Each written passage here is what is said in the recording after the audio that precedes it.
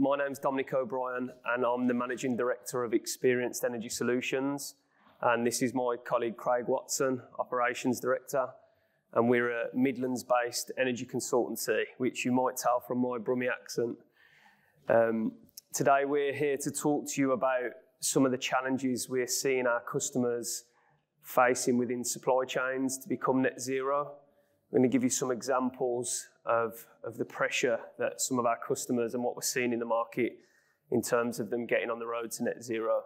So I'm going to hand over to Craig to present the first couple of slides and then I'll talk you through some examples. Thank you, Dominic. So first and foremost, the question we want to pose to the audience or the question we've asked a lot of our customers, even friends, family, business owners is, do you want to lose your biggest customer?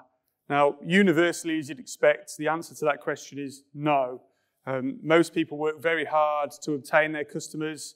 They go through a lot of long tender processes. They present, they pitch, they win business.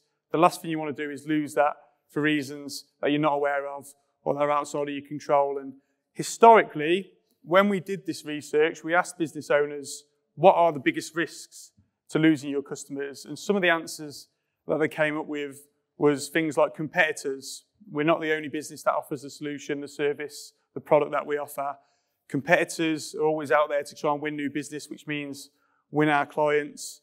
They put together marketing campaigns. They try and put budgets towards winning new business. And that's a risk that most business owners will face.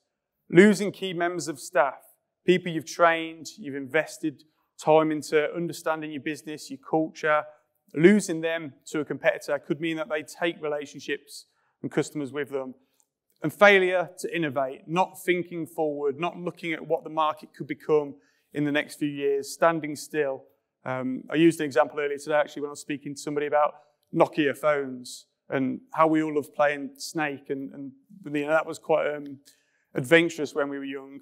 The iPhone came in, we've used iPhones for years, but we don't actually use it for a phone. We use it primarily for so many different reasons now. And that innovation has led to them being one of the biggest, Apple being one of the biggest companies, and Nokia no longer in that industry. But one risk that business owners didn't typically say was net zero. Net zero at the minute isn't at the forefront of people's mind, and we feel that that potentially could be the biggest risk out there because we're starting to see supply chains ask questions of their customers now. What are you doing for sustainability, CSR? What are you doing to become net zero? And for us, obviously, there's some of the risks that we see. What are the impacts of, of losing your biggest customer? So, internally, there's a lot of um, issues that will come out of losing your biggest customer. You lose sales. Sales equals revenue. Revenue is needed to invest. If you lose some of your biggest customers, you've got to work hard to gain that back a negative perception can be created. If you're losing customers for a particular reason and you're in an industry where that's known to competitors, it's known in the market, customers may feel that you know there's a risk that they shouldn't be staying with you. They should be looking elsewhere if other businesses are doing it. Staff engagement, panic sets in. Why are we losing our biggest customers? What's that going to mean to the FTE? Could redundancies happen? Um, and then lastly, internal focus poor performance, why have we lost customers? Rather than innovating and growing and thinking forwardly, people start to look sometimes at why we're going the wrong way, and that slows businesses down. From an external perspective, there's a lot of things, again, mentioned it already, but negative perception. Competitors look to gain, they look to target your customers because they can see you're losing business for particular reasons. And what we've identified is that there's eight supply chains that equate to 50% of the global emissions within the world. They consider supply chains such as food, construction, fashion, electronics, automotive, professional services, fast moving consumer goods, and freight.